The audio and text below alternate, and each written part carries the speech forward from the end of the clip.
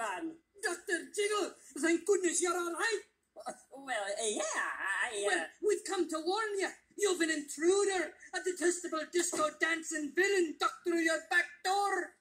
Oh, uh, uh, yeah. Well, uh, you must mean Mr. Sly. Mr. Sly? Oh, yeah. Man, can that guy dance or what? Yeah, didn't I tell you? That little thing he does with his hips? Uh-huh. He's got to be the best dancer in the whole world. What? You're in cahoots with that creature? Well, yeah. I mean, you gotta like a guy who can dance like that, right? Well, I suppose. I, I know I could never dance like that. I mean, just look at me. I'm too jiggly. Ever since I was a little boy in widely tailored pants, my only aspiration was to be a good who danced. But for what it's worth, my portly girth only served to make folks giggle.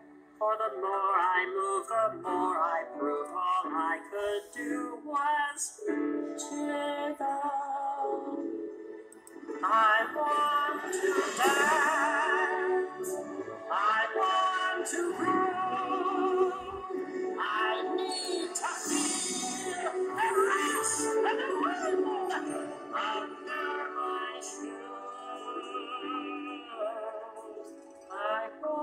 to dance.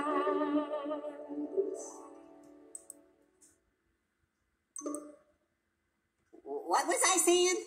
Barometer must be rising. Me joints are like an oop. Yep, I think Mr. Sly is great. On account of his non-jiggly, wonderful dancing and all.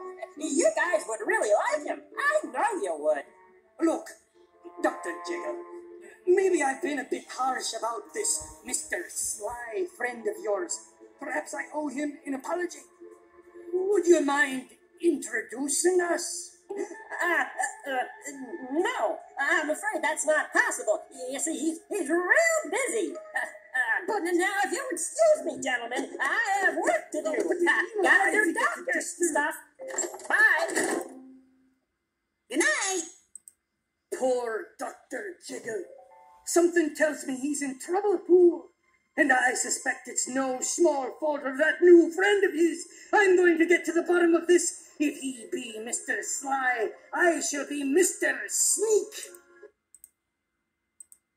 What?